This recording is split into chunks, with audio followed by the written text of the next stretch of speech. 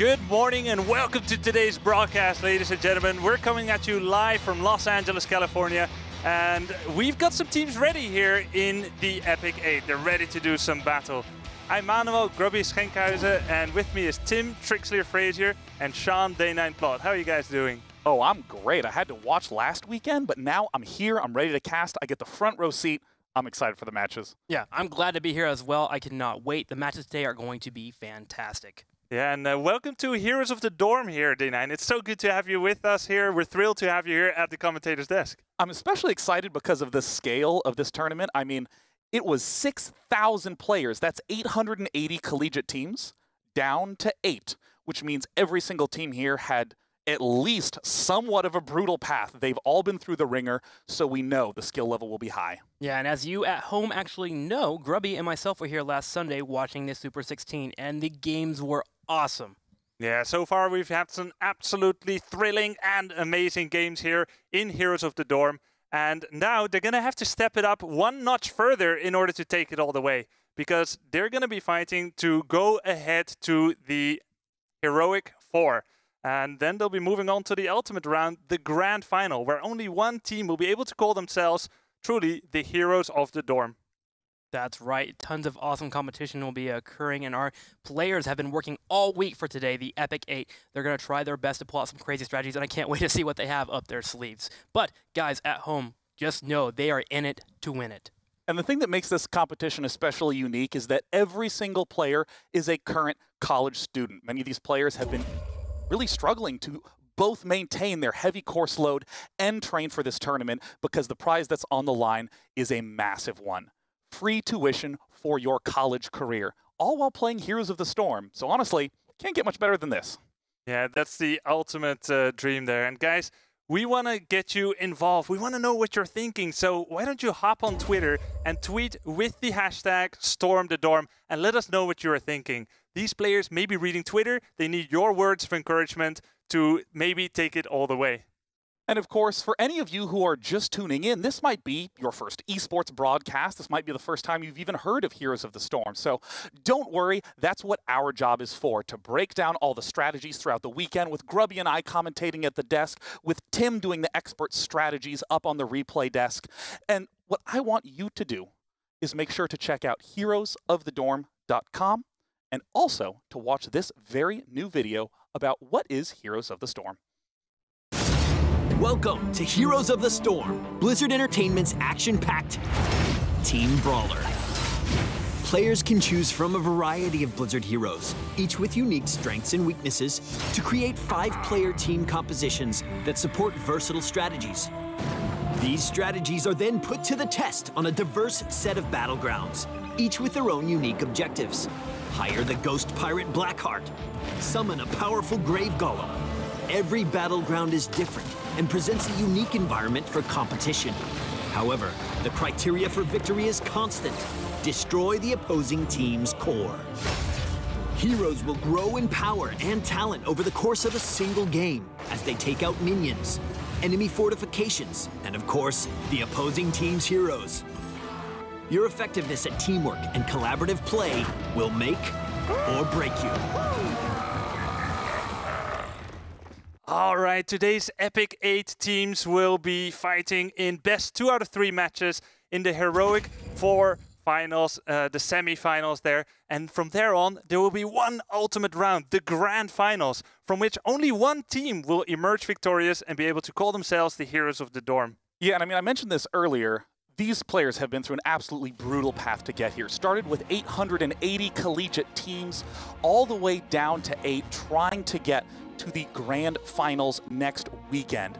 And as we said before, some of you may be tuning in for the first time wondering what was the path to get here? What have these players been having to go through? Tim, tell us, how did we arrive at this round of eight today? Well, day nine. Remember, last week we had the Super 16 occur, and we watched a majority of matches all come down all the way to the Epic 8. Now, if you weren't able to watch those games, don't worry, we're gonna catch you up. So let's go ahead and check out the brackets and see where exactly our teams are currently at. I know there was one map in or one matchup in particular that I was actually enjoying very much, and that's because we saw it in an orthodox murky pick. Right here in the top right corner, you had Indiana versus Rutgers. Indiana was able to make it forward. Of course, another match that is on everyone's radar. It was Kansas State versus California Berkeley. State. California Berkeley made it to the Epic 8, and they are actually one of the highest voted voted teams actually in the uh, brackets. So we'll see how they do today in the Epic 8. And then one personally for me that I'm looking at is Arizona State down here in the bottom left corner. They're actually uh, my chosen winners for the entire tournament, so I want to see where they're going. But Grubby, you had a match last week that you enjoyed very, very much. Care to enlighten us? Yeah, I mean, there were a lot of great games, but there was one in particular that stood out in Team UT Arlington versus ASU. Yeah. Tank on the Tassadar there. I mean, I've only got one word for it. Force wall. That's right. Force Wall is a heroic that is a little unorthodox. We don't see it picked up often by players that pick up Tassadar, but of course Arizona State University did it and it was epic to watch. So maybe we'll see some more matches actually in the Epic 8 that actually have heroics that aren't chosen as often. So let's check it out. Who will you see today? In the top left corner, we have Boston College versus Western Ontario. We have Indiana versus Illinois. And then we have Cal California Berkeley versus Washington, which, by the way, neither team has lost a match yet or a game. So today, someone will have to, of course, go out. In the bottom left corner, this will be the game that we'll be starting with Texas A&M versus Arizona State. And Day9 and Grubby will give you the lowdown on all the information about our teams. I mean, Texas A&M versus Arizona State really is the story of the underdog versus the undefeated team. Texas A&M really, I think, is one of the least voted teams to yeah. win the entire tournament. Arizona State University, one of three teams to be completely undefeated at this point. Let's take a look at Texas A&M, get a sense of their stats, how their team compositions get built out. And I think that the, the biggest thing that I think about with Texas A&M is really how low their specialist count is in terms of picks. Yeah, exactly. We see a very uh, solid distribution there between picking the assassins and the support. We see, of course, they already racked up three losses. That can be a learning experience in order to even improve your game for yes. the next round. Yeah, and of course, given how fragile the end games can be in Heroes of the Storm, one single mistake can be punished to the point where a lead is immediately blown, which makes of course, the stats of Arizona State University, even more mind-blowing. 20 and 0 are really the numbers that you need to know. the, the, big, the big contrast, though, I mean, Tim, 40% pick rate of support. We know double support has been really popular yeah. these days. Arizona State understands the current set of the game right now, which is a number of supports, because supports are a little bit more flexible right now. There are some that bring in great damage, there's some yeah. that come in great initiation of team fights, and so they're utilizing that to their advantage, and you see that reflected in their numbers. So Arizona State, we'll see how they do against the underdog, of course, Texas A&M. Now, of course, these numbers are just part of the puzzle. The biggest decision point for these players when picking which heroes they bring to the battlefield is the battlefield itself. Tomb of the Spider Queen, an extremely intense map, will be the start to things. So as we head into the draft, really the players have to be asking themselves, how do they pick a composition that can be in those very regular team fights? Yeah, exactly. And one of the most flexible picks here in Arizona State is right to pick her up right away, is Jaina. She's a damage dealer that will fit in pretty much with every composition. And Texas A&M, you see Valla being picked up here as that's a hero we've been seeing in almost every single composition. She's a great foundation for your comp. So we'll see what the second hero will be here for Texas A&M. Uh, but overall, already starting off to a pretty standard setup, and we have Sylvanas as the follow-up. Oh, Sylvanas, interesting. One of the newest heroes in the rotation. And, you know, there's a couple of big heroes, a couple of big mixtures like Illidan, like the Diablo Tyrande composition that get picked very early. Valla Sylvanas Sylvanas has quite a bit of flexibility to it as we look over at Arizona State Diablo, one of the most popular tanks in the, uh, in, in the game right now, just due to his ability to engage quickly. This is interesting. They take Diablo and Tassadar. They didn't go for the Diablo Tyrande uh, combination that you right. rightly uh, uh, highlighted there, Sean. But part of that is that they apparently don't want Tyrande, but they do want to make sure that the opponent cannot get Diablo and Tyrande together. They're now going to go for Brightwing here. A great choice. Yeah, a fun follow-up here for Texas A&M. Sustaining hero here, where she has constant heals that are constantly fluctuating out of her body. So we'll have Brightwing here for their healer, and then of course the follow-up into ETC, which is a great engager as a warrior. Yeah, I mean, honestly, everything makes tons of sense from the Texas A&M side. Going back to Arizona State, no surprise that Rehgar is going to get picked up. Quite honestly, wow. one of the most wow. popular healers in the entire game, but I mean, Grubby, I hear you already looking a little shocked about the Falstad pick. Yeah, I mean, I know they need another damage dealer, but did not expect it to be Falstad. He has seen a little bit more play recently, and actually, that is an advantage. He doesn't get very widely played yet. Picking him may give them a small little edge there in playstyle. He does make sense, though, against this composition now with Valla, Sylvanas, and Zagara, and Brightwing. All heroes that don't have very high health pools that can be taken up pretty quickly. But It looks like it's time to head into the battleground. Let's go ahead and check it out. Can you introduce our teams, uh, Day 9? In the left side, in the blue trunks, is going to be Texas A&M under the name Team Maroon. And at the far opposite side, in the red trunks, Arizona State's Dream Team. Tim, the map is going to be Tomb of the Spider Queen. I'm ready to hear your thoughts on how this match is going to play out. Well, here's the mini map right here, just so you guys know there are three lanes. Heroes will have to move to the middle of the lanes and start absorbing gems. They'll take those gems and turn them in and get web weavers, which we'll explain a little bit more often as the game is about to be starting in two seconds. But yes, man, this game is all about high intensity. All right, and high intensity is what we will see. Normally, the beginning phase can be a very passive affair, but not on this map, guys. Um, action seems to be picking up immediately as all five heroes from both teams are in the middle. No, you will see a very congested area here in the middle as the distance between lanes is so short. Yes, and absolutely, because laning is so key for collecting those gems to deposit for the Spider Queen. That is the core mechanism of the map. Even an early loss at the very early game where the cooldown to respawn is only a few seconds, losses like that can be so big on a map like this. Yeah, normally you'll have a spread of like two heroes per lane, one hero per lane, but here you should see all the lanes as one network really, where you can just go up and down in just a jiffy and surprise the opponent and assassinate them when they least expect it.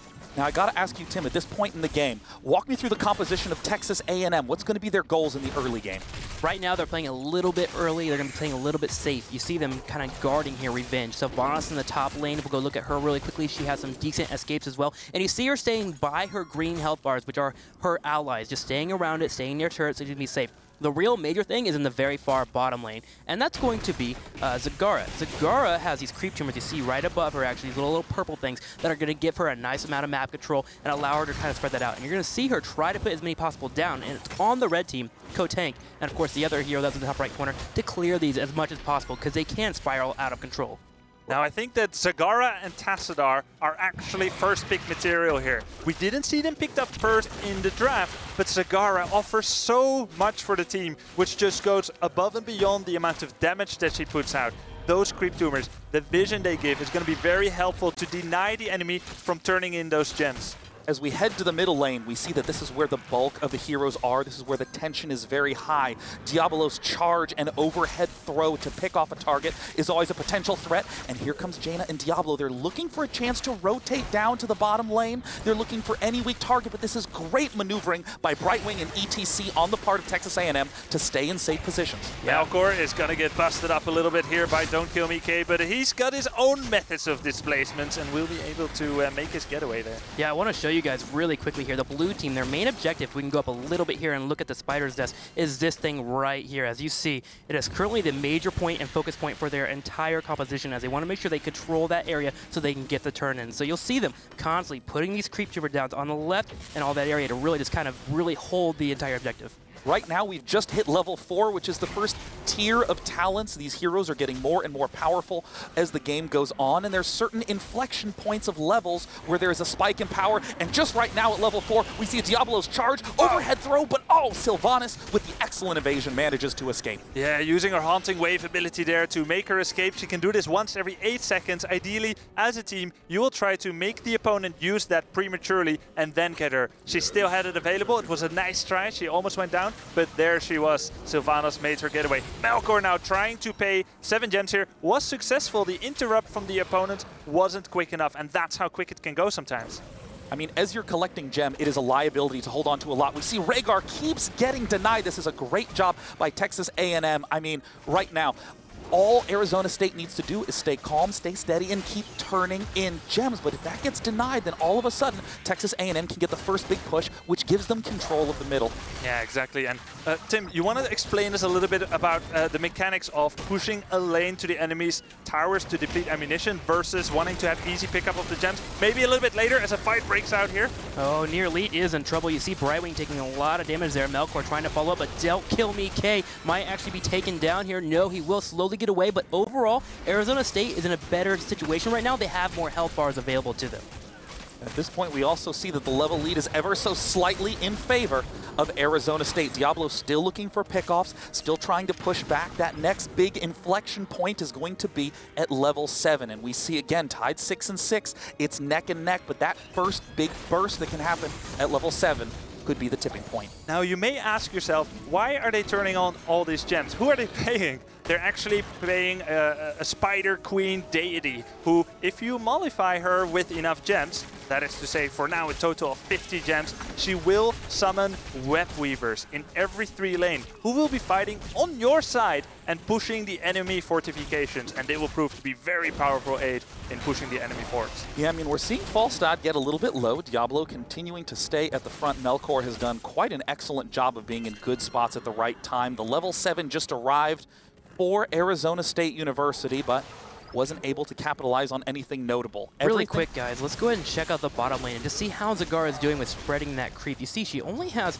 these many tumors up here in the left top right corner. These are giving her vision. They're allowing her to kind of control the area overall. If we look at the mini-map, they have vision of this entire area, which is very, very helpful. That's about a quarter of the entire mini-map. So again, Zagara is doing well, um, even with the Dream Team doing their best to try and bring it all down. And really, the funniest thing about this Zagara Tassadar thing that you bring up is look how many gems they have 24 to 27. This is a huge liability. Only now, look at Zagara taking the perfect time to try to go up. But of course, Kotang not going to let it happen, doing his best to try to deny this turn in. But it looks like Gosan is going to get the turn in. One second, and he pays those 25 gems, and Web Weavers will now descend for the blue team, for Team Texas A&M, and the Web Weavers will travel exactly to the middle part of where the lanes meet. Yeah, really quickly, we'll go ahead and show you. They'll be heading down this way constantly, just go ahead and pushing all the waves at once. This is an important play for our team. Let's go and check out the Web Weavers as they move across the middle of the map. Yep, those uh, dark clouds will spawn a web weaver and they will come exactly where the minion wave for the blue team is currently. Now there's a number of different ways you can do it here day 9. You can group up together with one web weaver or you can kind of keep the split that you've been entertaining in the early phases. And at this point in time, it very much so looks like Texas A&M is going to continue the split. Makes sense. They're trying to soak the experience for the important level 10 coming up. Web Weaver in the middle goes down at the top and bottom lane. The pressure is still on. We Noctis, Noctis gets Shadow Charge, get overpowered and thrown over his shoulder, and they will take him down. Brightwing trying to save him there, but nearly it wasn't successful. Will pick up most of the gems, though, that Noctis dropped there. Yeah, I mean, this is the difficulty of this map in Heroes of the Storm on all the maps, you are trying to manage three tug of wars. We saw Sylvanas in the north get too over eager, move too far forward, and the same mistake might be happening down south Texas A&M. No, they don't want to let that happen. We see Kotank trying to hold down, trying to defend as best he can. But with the red team, Arizona State is starting to become a lot more mobile, starting to move from the top all the way to the bottom lane and in between. Yeah, and you've got to be mobile, guys. This is a team game. You've got to communicate to each other what's happening. Of course, you can keep an eye on what's happening, but hearing from your teammates, hey, look, they destroyed the web weavers in the middle lane. They might be coming up soon be careful. Don't overextend. Oh my god, level 10 is about to hit. Uh, Tim, when both teams hit level 10, who's going to have the advantage in terms of these team compositions? The red team right now, because currently they're getting their own web weavers to push down the lanes. You can see them already here on the map heading forward here. So yes, they will have the advantage because they have the pushing power of this map mechanic. Then they have the heroics. They have so much power right now. It's going to be really hard for Texas A&M to actually hold all of this, and I'm wondering how they're going to do it. Now, there is a strategic element here to when to use your heroic abilities. Use oh, them too no. soon. All right, they used the heroic ability there. Lightning Breath on Melkor, taking down enemy hero. It's now a 5 versus 4 situation. The Web Weavers are going to be that much more successful there. And they dropped a boatload of gems. This is a beautiful attack coming in from Arizona State, piling five heroes at the south, trying to force some response from Texas A&M. And the mistakes that were made cost two of their lives. And all of a sudden we see the rest of Texas A&M coming down to the south. But don't forget, pushes are continuing in the mid, continuing in the north. The basic strategy of Heroes of the Storm is to apply pressure in multiple places at once. Exactly, divide and conquer. Even as that bottom thread by Arizona State was so potent, they have Rehgar on AKA Face here, pushing with that single web weaver, getting damage done on every fort. Ghost on, getting flipped over there, Force Wall, ETC will dive in, but what is he defending? He's already down. This I'm dive is very, very scary actually, AKA Face in trouble as well, but it looks like that everyone will pull away. But the major important thing to note is that we did have a major amount of damage done in these three areas of the map, which means later on, as we go into level 13, level 16, our players will be able to finally take those down, whereas the red team, Arizona State, has already secured one fort. Yeah, I mean, we saw the way that Arizona State capitalized on this push. They were a lot more aggressive, grouped five in one lane in contrast to Texas A&M that continued to keep their team split up. And what is the result? Arizona State is a full level ahead. Those inflection points are coming. Level 13 is the next big moment. Arizona State, that's right around the corner for them. So I like this play from Texas A&M. They're starting to get the minion encampments. encampments. They're getting the bruisers in the middle to, again, apply a little bit of counter pressure. And every time you kill an enemy hero, you gain some experience for your team. But more importantly than that, the enemy will have to yield map control to you, which is why we already have our second installment of Web Weavers here pushing down the lane. Now you can see the strategy changed a little bit. Most of them are all here in the middle, re requiring a strong defense by the blue team. Yeah, right now, actually, we pull the mini-map, we do have the uh, bottom team pushing in with the web weavers up in this top left and the bottom right or the bottom left corner as well. And there's no one there to defend it because they're all forced to fight here in the middle. So all the pressure is stuck here. And Texas A&M is forced to defend. Arizona State is getting free damage in the top and the bottom lane. In fact, it looks like they may have just secured a fort. Yes, they have already secured one fort wow. right there level 13 to level 11 Arizona State seems to be confidently in control, but don't forget Texas A&M has a number of heroic abilities that can turn the tides. One mistake really from either team is going to be massively um, uh, impactful. yes, yeah, yeah, it's going to be a huge, huge issue. I like how the red team is threatening here, they're posturing. They don't actually need for a fight to happen here. During all this time, they're saying, we could go in, but we're not going to do it yet, which forces the blue team to respond here and made the top and the bottom web weavers do maximum damage. Yeah, I agree with you, Grubby. Right now, the blue team, Texas A&M, has to make something happen. They're on the back end. They have the burden of defense. Hey, Devouring Maw does go down day 9. This is the big key if they can manage to pick Whoa! off a single hero.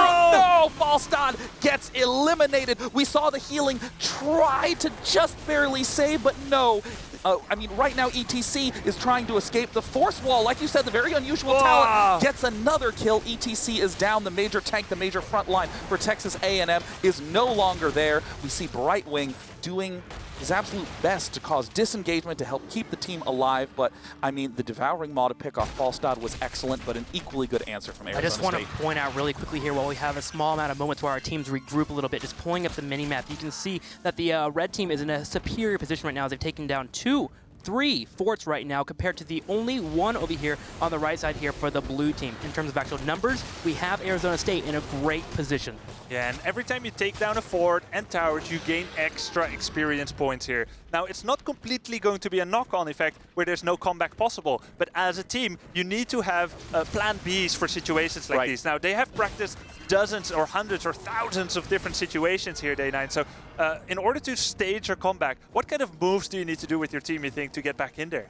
Well, I mean, really, there's a couple of key heroic talents. I mean, in particular, the Devouring Maw on Zagara. That can be such a game changer, just having a single hero in a known location or being out of the fight for a few seconds. But you have to not take those engagements if you're on different talent tier levels. Right now, 13 and 15, on Still the same okay. tier and level. Yeah, once 16 comes, now all of a sudden, if you're Texas A&M, you have to be playing much more so on the back foot. So uh, as we're seeing, Texas A&M is just continuing to keep their team largely together to avoid that risk. And by the way, the red team, Arizona State, was kind of calculating that level 16 boost in power they get with their web weavers. They just secured a turn-in with 60 gems, and you can see, as we're going to check out the core right now, we're seeing that all of these web weavers are starting to spawn. A third wave here for Arizona State, where it's only been one wave for the Texas A&M. They've got to get their stuff together right here, right now. Yeah, now all heroics are up for both teams, and it leads me to wonder, should they have let this happen? But that is behind us. All they can do now is try and take down the Web Weavers as quickly as possible.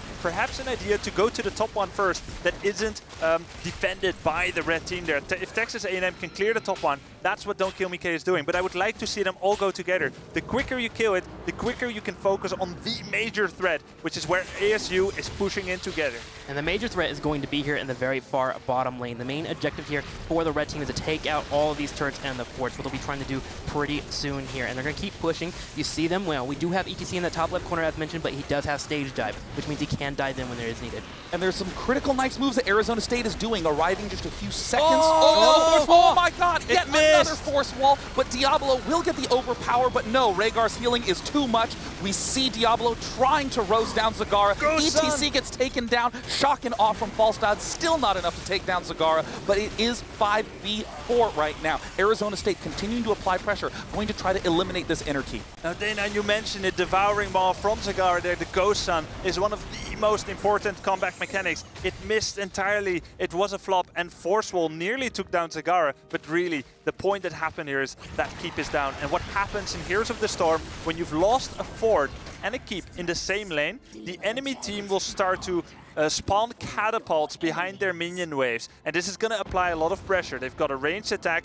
and they have a longer range than any defensive structure. So the core will be under pressure, requiring mm -hmm. continuous defense. So what's happening right now is we're seeing Arizona State do one of the best things you can ever do in competitive gaming. When you have a lead, don't try to extend by taking a big risk. Just try to make sure you maintain it. They're pulling back. They're getting another encampment, which will help on, uh, again, the tug of war elements. They're going to try to get extra turn-ins. They're going to try to make sure the enemies don't get turn-ins, so there could be some sort of comeback potential. There are some potentially big plays available here for both teams, and that's like the huge boss mercenary in the very top northern position. If we can go ahead and go get a look at that right here. Yes, this bad boy right here. If any team can grab this neutral camp, it can help them either come back or, of course, in the game. So watch for that to be potentially grabbed pretty soon. That's also one of the greatest places to throw the match. if you're the team that is in the lead right now, Arizona State, you're seeing them, I think, very smartly not getting too overeager with the boss. They're trying not to forget the core map mechanics. And of course, Melkor with 11 doing a good job uh, stockpiling them, but now is the good time for the turn-in. Yeah, so now you'll see that they require 65 gems to be paid. It will ramp up every consecutive turn-in, so even though you need more gems, yeah, well, you need more gems every time you pay, and I really like, oh, okay, I really like that they're not doing the boss yet. That is risky, and you just need to ask yourself in a situation like this, what could potentially make us lose the game here? Don't lose your cool, a constant balance and tightrope walking of your mentality. Don't get overconfident, don't get intimidated. And it looks like Arizona is following these rules of thumb oh, just yeah. fine. Yeah, and, and I mean, despite all the movement, it's just very safe play, being very cautious, trying not to get too split up. I think what's really important right now is for the teams to get the lanes pushing forward, especially for Texas A&M. They want to get their lanes pushing forward in the top, middle, and the bottom. And at that point, after they do so, they can actually force a team fight. And I want them to do it before they get to level 20, Arizona State. If, if Arizona State gets to level 20 and they're still behind at this point, they're significantly behind. So now is the time to make a play. And you're going to watch for Ghost-San to make the play here as he has the Devouring Maw, which is a great heroic there to really force a team fight.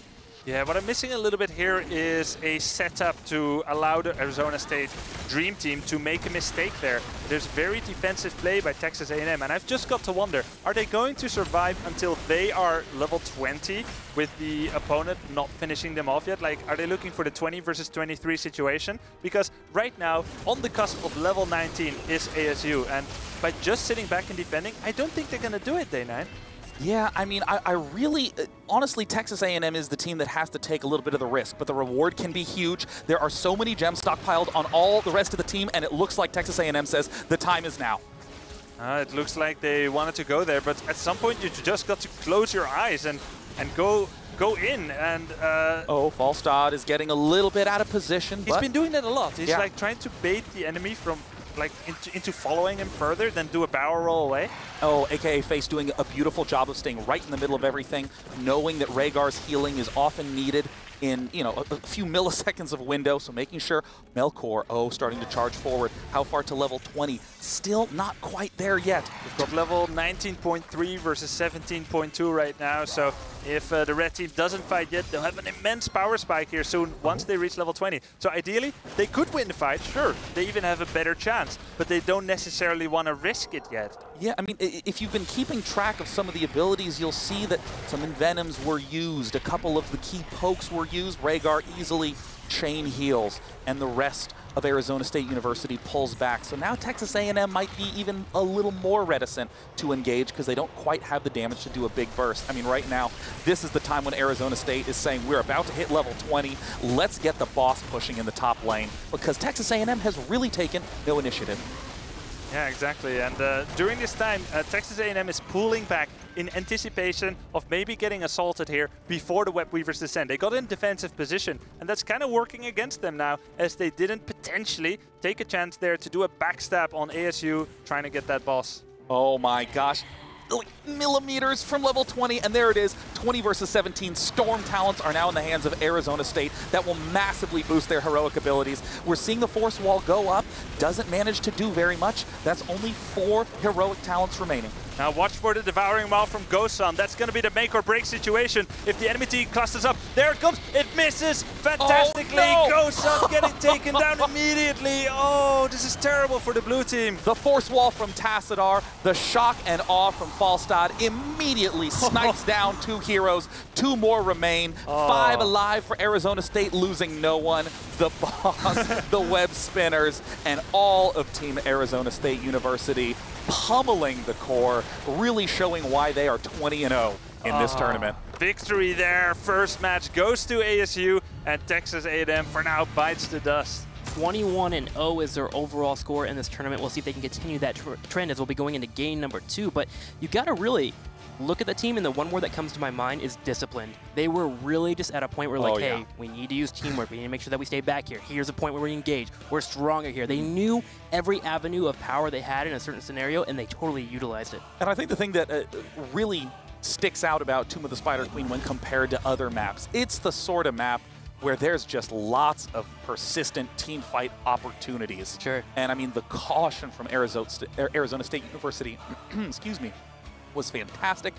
Really only doing hard engages when Diablo could use overpower to pick off a key target. Yeah, you've got to squash that little voice that says, we're doing awesome. We are awesome. We can't lose a fight. And for Texas A&M, they had ways to fight a lot of fights. It's with the devouring maws. Zagara is a main initiator initiator for them, and unfortunately, some of the malls that she did pull off weren't the best. We got one or two heroes. Normally, when you do go into that type of scenario and you want to use devouring maw, you want to section off a, a heavy damage user or pick up two to three members. And we'll go into a couple replays and show you that there were a couple of good scenarios overall, but it wasn't the best that we could have seen from Texas A&M. This will actually be the first one here. They're under a heavy lot of pressure. Can we get a pause, Jake, really quickly here? Um, from the entire map, uh, if we go ahead and pull that up, we actually can see uh, there was actually a lot of pressure coming from the red side here uh, from um, our red team. Actually, let's go ahead and show you. There we go, the red team. I want to get all nice and spiffy here as we have a lot of pressure coming in. And it's on Gosan here to be really, really aggressive with grabbing someone in the Devouring Maw. She wants to potentially, if possible, get these two members, Rehgar and Jaina, just because they bring in a lot of damage and a lot of healing. Unfortunately, she was only only able to grab one member here, which is decent, and they're able to get a clear up. Can we go and get a play here, Jake? We'll see that they will pick off a couple of members, and it's important here for Michael Udall, the uh, Jane up here in the top right corner, to actually jump on top of Sylvanas and try and take her out. So we're going to go ahead and watch the match here. As we'll see, it looks like Fam is going to be picked off, so a decent pickup and great uh, denial of the heal. But you see in this top left corner, we get a pause real quick? Uh, we can actually see that uh, Revenge did get away as Nearleet was able to heal him up. Nearleet, the Brightwing, was able to stay on top of Sylvanas. So if that had um, been a solid trade here for Arizona State, um, they would have been in position. But Texas A&M, they need to make sure that when they go in for the engagement, that they get a few members up here in the top right corner whenever they go for the full engagement. And we'll go ahead and go to the replay number two here, um, where we actually see the red team. Um, yeah, we're going to go ahead and we'll go ahead and go to the uh, replay in a second here. Uh, but really, the red team, um, they start to really catch on to this type of play that's coming from Texas A&M. Okay, they want to section this off. So we're now into uh, the second replay right away. We have a lot of pressure going on in all three maps, and we need Texas A&M to go for the engagement, but they they go for it right away. Can we get a pause really, really quickly right after the next force wall here in a couple of seconds? You see they just went in for the fight. They had an amazing force wall from Kotank that was around this area, sectioned off a member, and we see the uh, huge Hentron blast from FAM taking out two members. This negates any type of engagement that can happen from Texas A&M because they're behind in numbers now, five to four. So um, overall, Arizona, Arizona State realized the strategy for Texas A&M and never gave them an opportunity to keep following up, especially after that first one. Yeah, I mean, there was some especially nice subtlety there where Yeah. you just saw they're a little bit more spread. Just to make sure Just a little bit, Maw just a little bit. didn't do anything too massive. I mean, it's very, very subtle, but once you start looking for it, you'll see that uh, against Zagara, really, really well coordinated teams will be just a little bit farther from each other, meaning that only one target can really get picked up at any point in time. Yeah, because anytime the Zagara casts that Devouring Maw, there's a little indicator where it's going to land. But you don't have seconds to react. It happens really fast. If you have a lot of space around you, you can sidestep it to a degree if you're not caught smack in the center. But by creating that little bit more space between each other, they can more easily dodge it, and it becomes difficult for uh, Zagara to land it. One thing I noticed that last week, Ghost Sun was playing the support. Now he's playing Zagara, and I, I wonder whether maybe that is uh, a little bit making him less comfortable in landing those clutch devouring maws. Yeah, because it really the entire team's strategy hinges on that devouring maw hitting. Yes. Early game, he plays Zagara well. Creep tumors everywhere, holding Yeah. down the bottom lane. They got a fort early, but into the mid to late game, you got to carry that playing well all the way through the game. Or of course, you'll see what we just saw there, where a team that is very coordinated can take you down. Yeah, and I mean Texas A&M, of course, very low on the specialist count. This is new for them as well. Can the underdogs Texas A&M be able to tie the series up one and one, or will Arizona State University continue their undefeated streak? We'll find out after this. Stay tuned.